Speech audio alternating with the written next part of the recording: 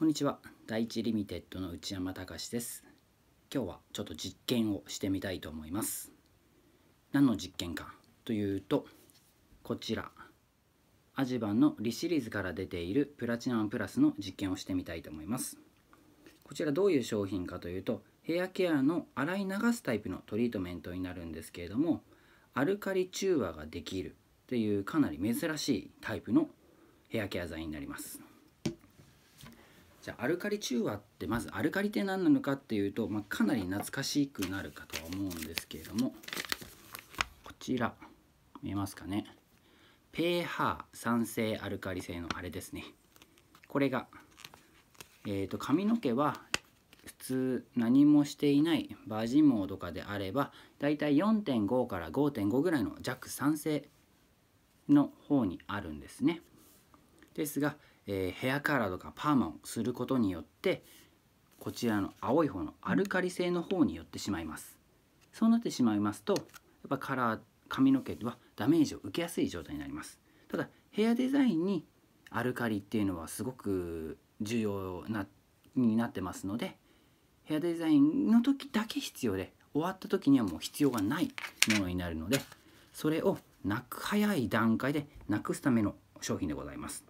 まあ、それがどこまでちゃんとなくせるのかっていうための実験をちょっとしてみたいと思います。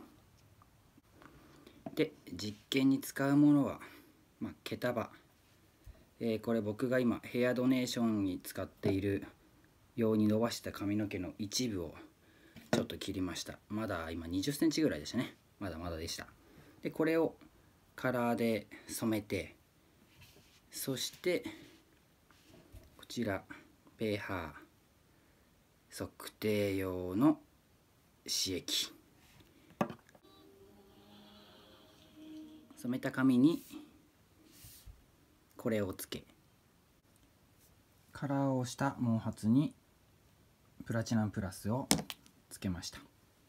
これでま時間を置きます、まあ、つけた方にはこう洗濯ばさみで留めてあります。トリートメントした方がボサボサしてないですねそうカップ少し遠めでちょうどサイズが良かったのでこれを使わせてもらってそこに入れて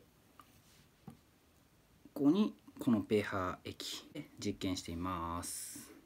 じゃあこの洗濯ばさみの入ってない方こちらが、えー、カラーを染めただけ何もシャンプーしただけですね。のものです。それをまず入れていきこっち洗濯ばさみで留めてる方がこちらを入れたものですね。つけたものです。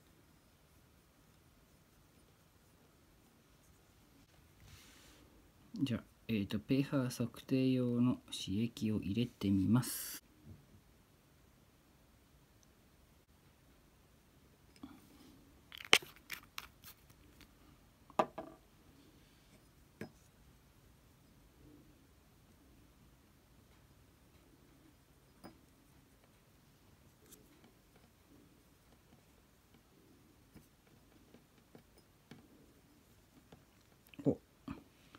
これは分かりやすい。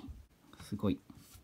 たった1滴ずつ入れたんですけれどもこうカラーチャート。こちらがえーとプラチナムプラスを使った方でこちらの方には入れていません。やっぱ入れていない方が明らかに青い。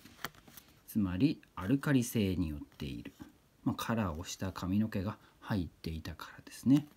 でこちらはカラーをした髪の毛なんですがこのプラチナムプラスを使っていたために使ったためにしっかりと黄色っぽくなってきてます。かなり pH も酸性領域に戻っているっていうことが分かります。はい。実験の結果こう色わかるかな。このようにちょっと青いものになったのとでこちらがカラーをしてシャンプーしてプラチナプラスをした髪の毛を入れた水になります。どうでしょう？結構色も違ってちゃんと結果も出たんじゃないかなと思います。まあこの結果が出たってことでまあ何を選ぶかっていうのは皆さん次第なんですけどもこういう結果がちゃんと出る商品になってますので僕としてはこれからもプラチナムプラスおすすめしていきたいなと思います。ぜひぜひ、えー、検討していただければと思います。ありがとうございます。では今日はこの辺で失礼いたします。ありがとうございます。